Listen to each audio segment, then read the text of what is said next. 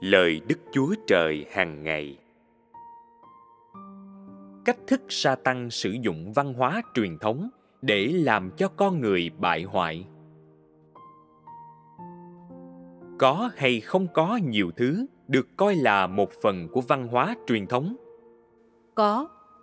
Văn hóa truyền thống này nghĩa là gì? Một vài người nói nó được truyền lại từ tổ tiên. Đây là một khía cạnh từ thuở sơ khai, cách sống, phong tục, các câu nói và phép tắc đã được truyền lại trong phạm vi các gia đình, sắc tộc và thậm chí toàn thể loài người. Và chúng đã trở nên thấm nhuần trong tư tưởng con người.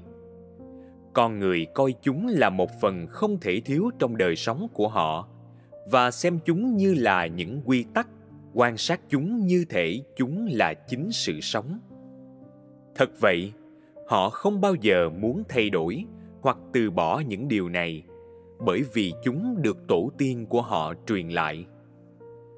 Có những khía cạnh khác của văn hóa truyền thống đã ăn sâu vào tận xương tủy của con người, giống như những điều đã được truyền lại từ khổng tử và mạnh tử, cũng như những điều đã được đạo giáo và nho giáo Trung Quốc dạy cho con người. Chẳng phải vậy sao? Những điều gì được bao gồm trong văn hóa truyền thống? Nó có bao gồm những ngày lễ con người tổ chức ăn mừng không? Ví dụ lễ hội mùa xuân lễ hội đèn lồng tết thanh minh lễ hội thuyền rồng cũng như là lễ cúng cô hồn và trung thu. Một vài gia đình thậm chí còn tổ chức các ngày mừng thọ cho những người cao tuổi hoặc khi trẻ em đầy tháng hoặc được 100 ngày tuổi, vân vân. Đây là tất cả những ngày lễ truyền thống. Chẳng phải có văn hóa truyền thống làm cơ sở cho những ngày lễ này sao? Cốt lõi của văn hóa truyền thống là gì? Nó có liên quan gì đến việc thờ phượng Đức Chúa Trời không? Nó có liên quan gì đến việc bảo mọi người thực hành lẽ thật không? Có ngày lễ nào để con người dân của tế lễ cho Đức Chúa Trời đi đến đền thờ của Đức Chúa Trời và nhận sự dạy dỗ của Ngài không? Có những ngày lễ nào như thế không? Không. Con người làm gì vào tất cả những ngày lễ này? Trong thời buổi hiện đại, chúng được xem là những cơ hội để họ ăn uống và vui chơi. Nguồn gốc đằng sau văn hóa truyền thống là gì? Văn hóa truyền thống đến từ ai? Sa tăng. Nó đến từ sa tăng đứng đằng sau những ngày lễ truyền thống này sa tăng làm thấm nhuần một số điều nào đó trong con người. Những điều này là gì? Bảo đảm rằng con người nhớ đến tổ tiên của họ. Đó là một trong những điều đó phải không? Ví dụ, trong ngày tết thanh minh, con người dọn dẹp các ngôi mộ và cúng tế cho tổ tiên của họ để không quên tổ tiên của mình. Đồng thời sa tăng cũng bảo đảm rằng con người nhớ lại lòng yêu nước. Một ví dụ về điều này là lễ hội thuyền rồng. Còn tết trung thu thì sao? Việc đoàn tụ gia đình. Bối cảnh của việc đoàn tụ gia đình là gì? Lý do của nó là gì? Chính là để trao đổi và kết nối tình cảm. Tất nhiên cho dù là tổ chức đêm giao thừa hoặc lễ hội đèn lồng, thì có nhiều cách để diễn tả các lý do đằng sau những hoạt động kỷ niệm này. Mặc dù con người diễn tả những lý do đó, nhưng mỗi lý do đều là cách sa tăng làm thấm nhuần triết lý và tư duy của nó trong con người, để họ sẽ đi lạc khỏi đức chúa trời. Không biết có đức chúa trời và dân của tế lễ hoặc là cho tổ tiên của họ hoặc là cho sa tăng hoặc ăn uống và vui chơi vì sự ham muốn của xác thịt khi mỗi ngày lễ này được tổ chức thì những tư tưởng và quan điểm của sa tăng được gieo sâu vào tâm trí của con người mà họ không hay biết.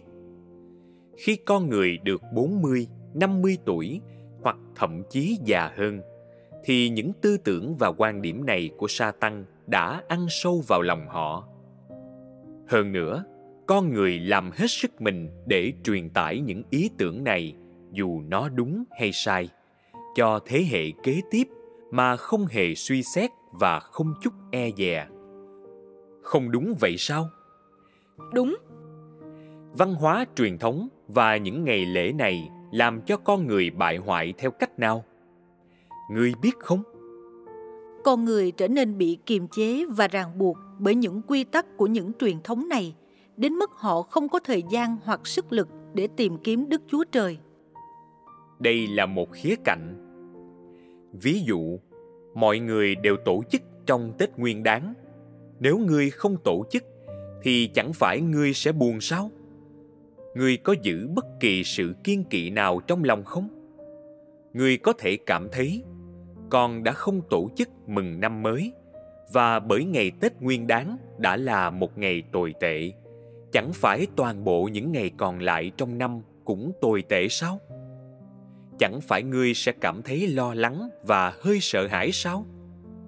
Thậm chí có vài người đã không cúng tế cho tổ tiên họ trong nhiều năm và đột nhiên có một giấc mơ, trong đó một người quá cố xin họ tiền.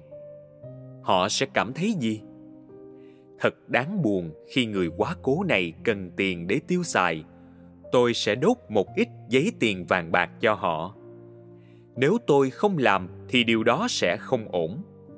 Nó có thể gây rắc rối cho những người còn sống chúng ta. Ai có thể biết được khi nào bất hạnh sẽ ập đến? Họ sẽ luôn luôn có chút lo lắng và sợ hãi này trong lòng mình. Ai mang lại cho họ sự lo lắng này?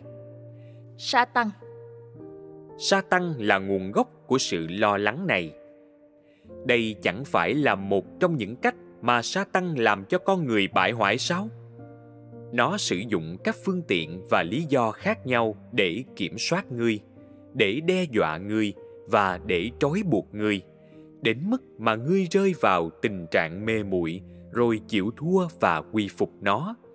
Đây là cách sa tăng làm cho con người bại hoại thông thường khi con người yếu đuối hoặc khi họ không nhận thức được đầy đủ tình cảnh, thì họ có thể vô tình làm điều gì đó một cách ngớ ngẩn.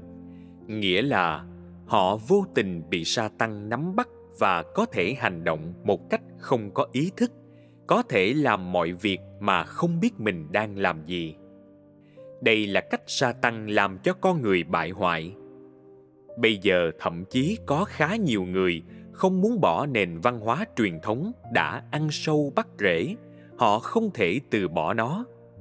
Đặc biệt khi họ yếu đuối và thụ động, là họ lại mong muốn tổ chức những ngày lễ kiểu này và mong muốn gặp sa tăng và làm thỏa mãn sa tăng lần nữa để mang lại sự thoải mái cho lòng họ. Bối cảnh của văn hóa truyền thống là gì? Có phải bàn tay dơ bẩn của sa tăng đang giật dây phía sau không? Có phải bản tính xấu xa của sa tăng đang thao túng và kiểm soát không?